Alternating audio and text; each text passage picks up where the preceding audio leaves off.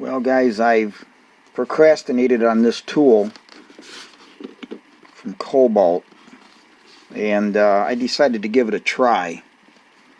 I wasn't quite sure how these blades are because the wood blade is not a conventional type wood blade. So I thought, well, let me try it and always return it I guess right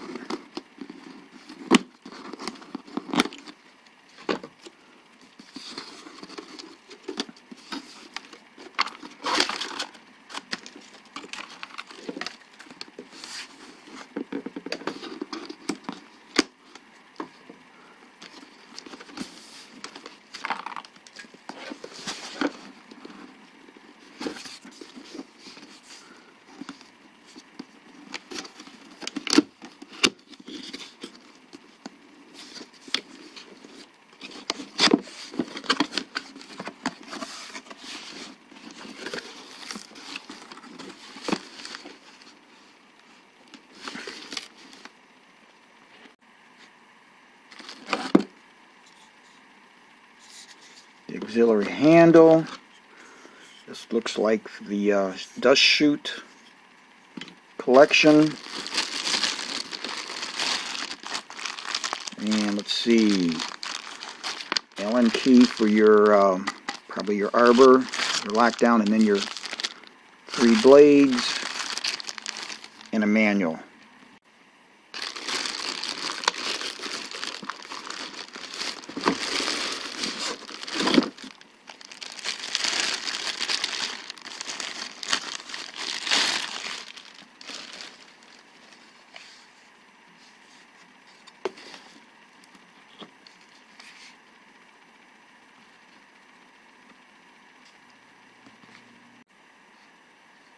This is the Kobalt 24 volt max 4 inch brushless cordless circular saw. It is the item number 961863, model number KMC124B-03. Alright, so it's 24 volt motor, 12,000 RPMs, and it can cut into a variety of materials such as wood, metal, brick, and ceramic tile. The cutting depth max is 7 eighths of an inch and of course you could do cutting, plunge cutting, grinding, and flush cutting with this. And the arbor diameter is 7 sixteenths of an inch, saw blade diameter 3.9 inches. Now here's some specifications that are on the box and notice where it says the compatible blades. So you've got the Kobalt then you got Dremel. So I thought that was interesting. So I went over to the Dremel tools at Lowe's and uh, noticed uh, some interesting things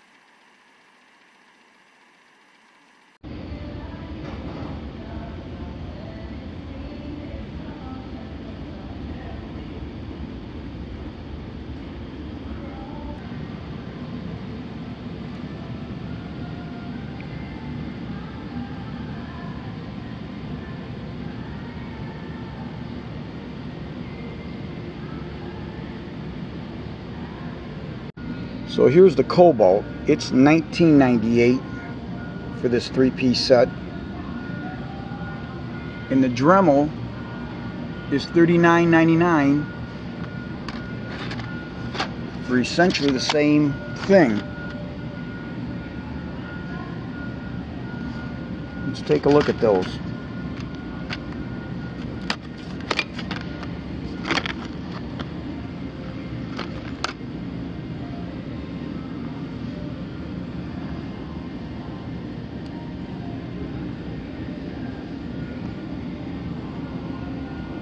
Kobalt's half the price of the Dremel, and the tool says that they that these will fit.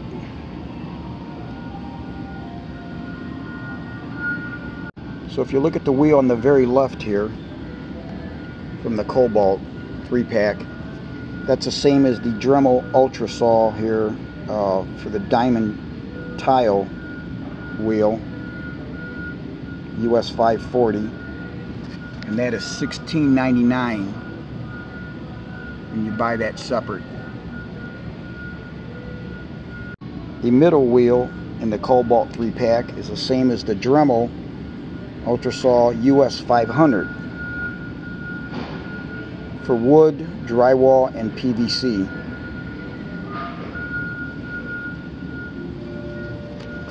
And that is separately $14.99 for the Dremel. Now the wheel to the very right of the three pack, the Kobalt, which is the cutoff wheel.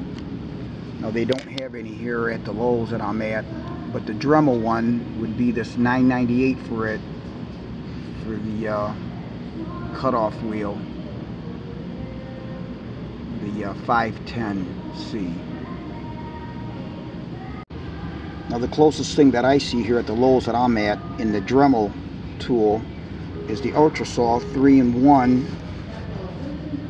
the US 40-03, but it is a corded tool. It's not a cordless.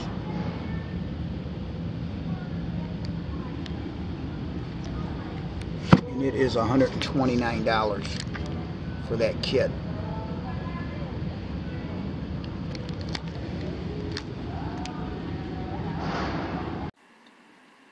So here's your manual, your uh, 5 millimeter Allen key, Allen wrench for the arbor, your three blades that come equipped. Then it gives you a um, pamphlet here that tells you the compatible blades that are usable with this saw.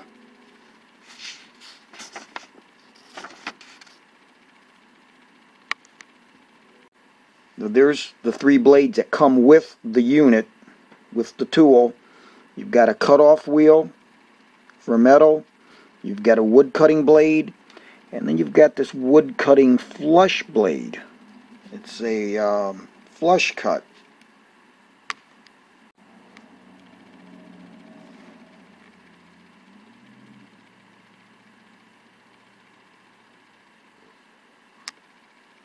This is the wood cutting blade.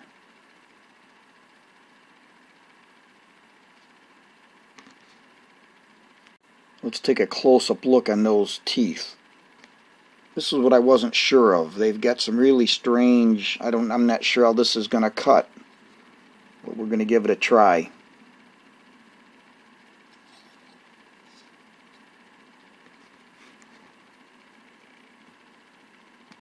Now this is the one that intrigues me the most. The flush cutting wood blade. Okay.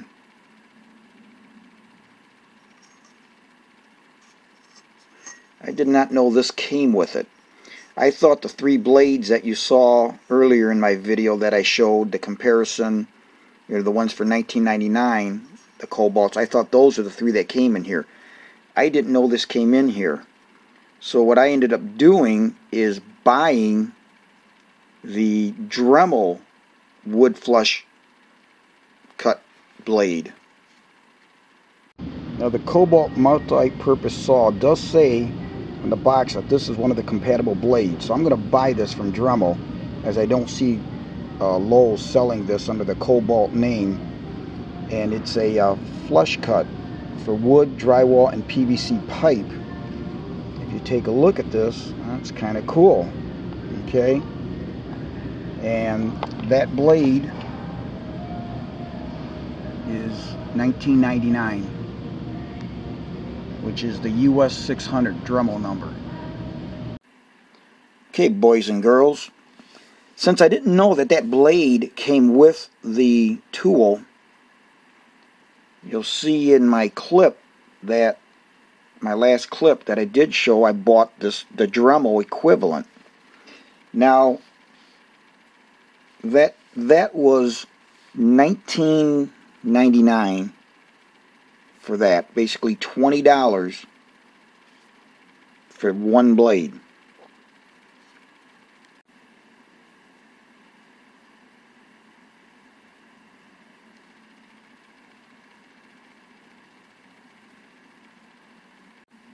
So I go online and I find that you can buy, here's the information, you can freeze the uh, frame. This is the Kobalt information.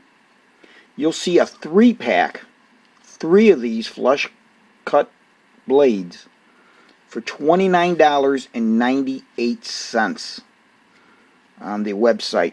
I'm going to see if I can do a ship to store. Either way, uh, either way, the uh, Dremel, okay, this Dremel is going back because at $20 for one blade, 19.99 versus 29.98 for three of them from Kobalt. Not a hard decision to make. Alright, let's take a look at this tool. On the uh, grip, the handle, got a nice rubberized surface. Whatever material that uh, Kobalt uses for their plastic or whatnot. Okay. And um, we'll take a look at the switch area. And it's got a protective switch. So if you go to turn it on, it won't go on. You've got this little thing that you've got to push forward, then go on. And it's kind of a fluid motion. It's not that big of a deal. Just like that, you know.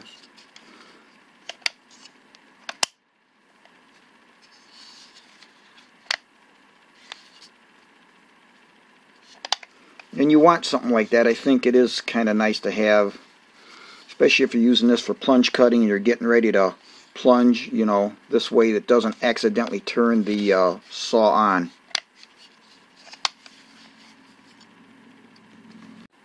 Okay, let's look at the uh, blade guard area in the shoe. They're made out of aluminum.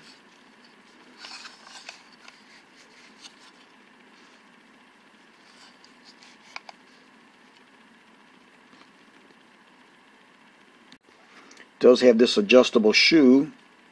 You can see the depth markings on there. Millimeters on the left, your inches, the inch on the uh, right. And this is the lock to release it. And you'll see it's spring loaded. See right here? So that's kind of nice because you can move this and it won't flap around set it where you want it. Clamp it down. Now it's got a blade lock here. That button that you'd push down. And you turn the arbor right there when it goes down like that fully. That now will cause the arbor to, to lock and stay in place so you can put a new blade on. Take a blade on or off.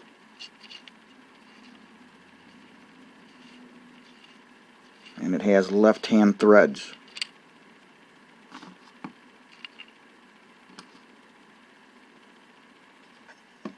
Now I'm going to put on the flush cut blade because you'll notice there's two here's where a standard blade would go in like this. Okay. And this one will fit like that and you'll still have the guard. That's really cool. Now one thing I'm going to do I, I do notice that this has a little bit of buildup on here. It has some on this side, inside there, that cup area. I'm not worried about that. Uh, before I use this, I'll just sand that flush. I'll take that off, try to get that off. So that way, when that's sitting on here, there there isn't going to be any run out because of that uh, the way that is. Alright, let's put that regular woodcut blade in.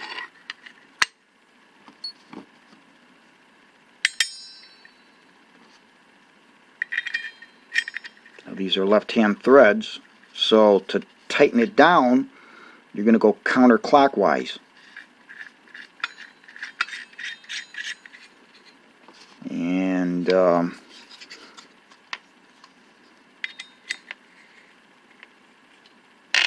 I'll turn this.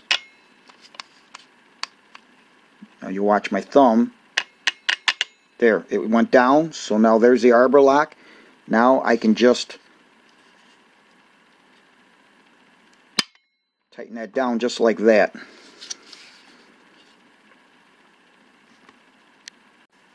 Okay, there's two other things I want to show you. One is going to be this handle that goes on the front threaded into the aluminum. It's uh, aluminum.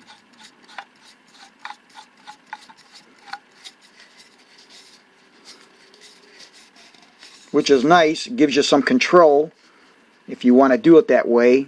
I probably won't use it like that. But if I ever do need it, I, I want some control. That's there.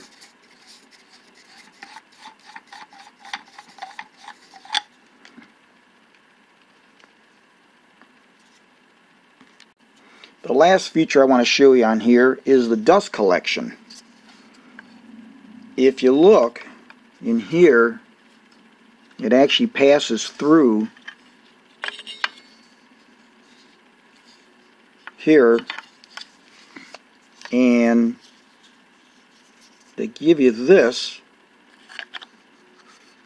and it's kind of just a press fit so you can actually I guess go forward up. I don't, well, I guess you can't really go too far with it. You can see it here. So actually, if you've got your handle on there, you'd have to have it forward.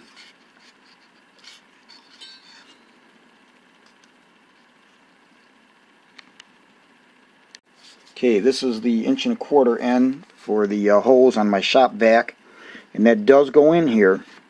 Now it's really loose. It's not going to stay. So um, I might put uh, masking, if I was going to use this, I'm sure I won't, but uh, I would put uh, probably masking tape, or I could even take an index card and maybe cut a strip and put that in here and use that as a shim just to keep it tight. So a couple different ways you could do that, but that's how that would go on there.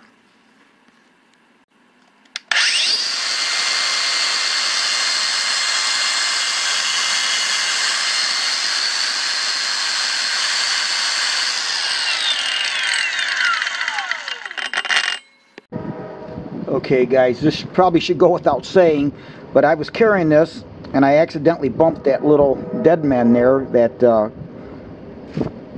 will allow the switch to turn on and I had the battery in there. So it's no different than when you're got an electric uh, model and you've got a cord plugged in.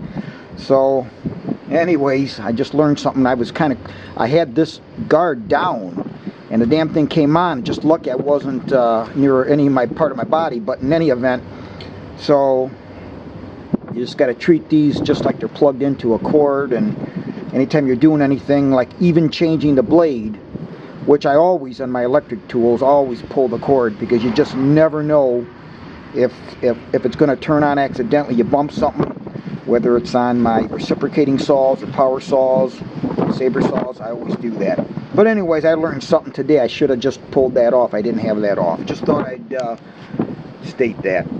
Alright, I'm going to try a plunge cut here. And the beauty of this spring-loaded shoe is that you can gently push this down in and it's uh, and then you can just won't flop down on you and then you can lock it. So let's give this a try.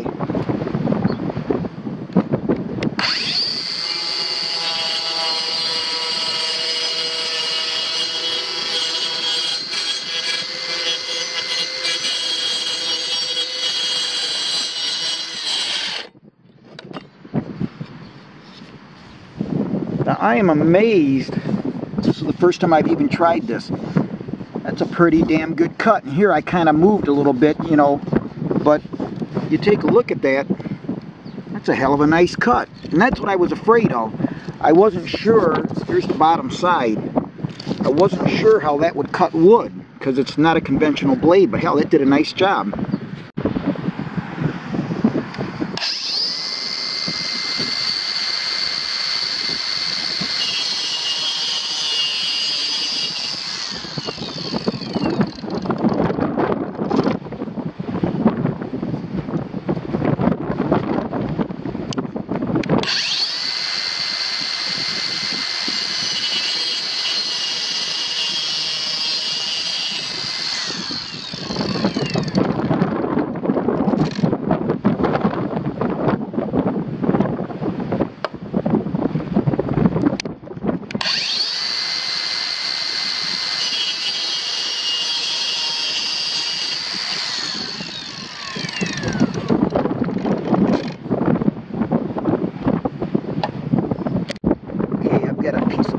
left over from a project. We're going to try to cut it.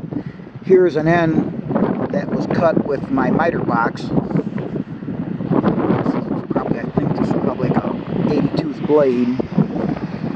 So that's the end that was cut from that.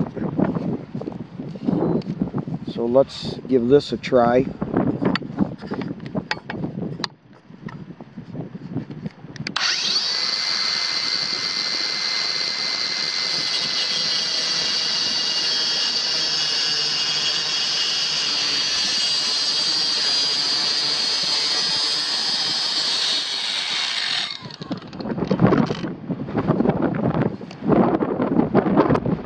Okay, here's the end. Definitely not fin for finish work, but you know, if you're doing uh, this particular blade, if you're doing rough construction or anything, that would probably be fine. You're uh, cutting out openings on a roof, on, uh, you know, wall, something like that, fine. But this would definitely not be a blade that you would use for finish work.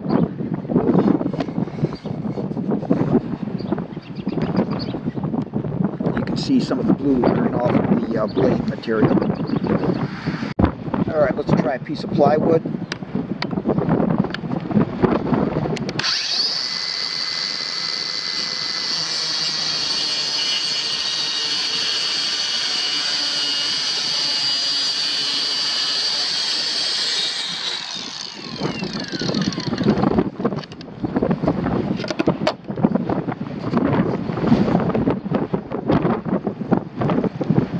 Again.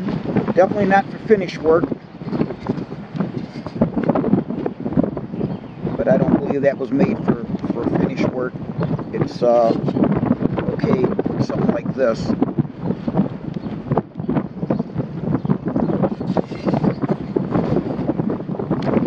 Now on this quarter inch plywood, I tried cutting just part way in and I'm going to pull this off so you can see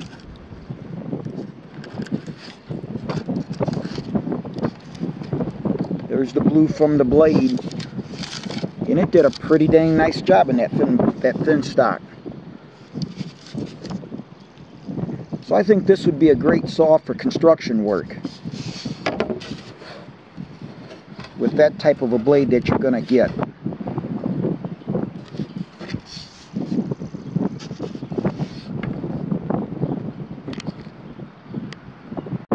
Try cutting this uh, piece of uh, PVC pipe.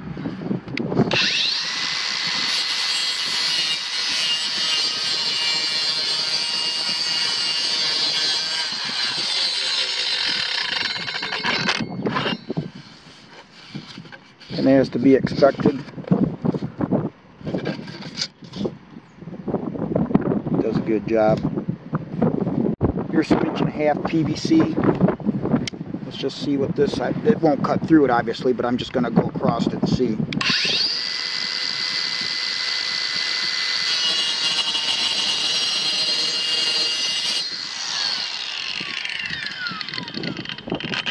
Nice job.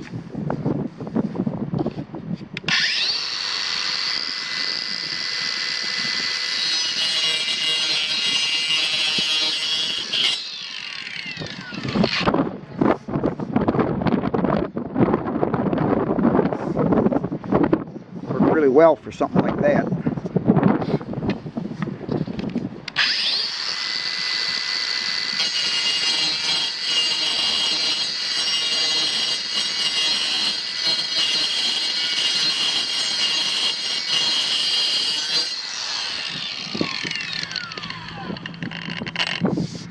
Now if I'd have had this up on a sawhorse, been a little more careful, would have done a better job. So that actually is not bad at all. If you didn't have a uh, miter box, I always like to cut with the miter box, but if you didn't, this would work out pretty damn well for PCV pipe. One other thing guys, when I'm done with the tool, whether it's uh, wood, especially wood, chop saw, if I'm cutting metal, I always blow the stuff off. I always go around all the vents inside everything. I just blow everything off to kind of keep the, the pitch from gumming up on it. It's going to happen over the over time, but uh, you just uh, do it as you go along. Keep the tool clean, you know, and and no need in having stuff build up when they're you know when you don't really need to. That's how you get longevity on stuff. Okay, and I really like this uh, Kobalt saw that I bought, but it cannot compete with this old Rockwell that I have, and I did a uh, review of it. I believe this thing is like 40 some years old, and uh, I used the hell out of that. Really a great tool. It's a four and a half inch Rockwell and uh, worm worm drive, but uh, you can put carbide blades on it. I would really be really cool if you could uh, put if you could buy at some point down the road carbide blades for the Kobalt but in any event, even the um, the teeth that come with it, this probably isn't a finish type tool anyways, so it really doesn't matter. Like I said, I did a lot of finish work with that uh, Rockwell, but uh, in any event, the Kobalt still uh, has a place in my toolbox.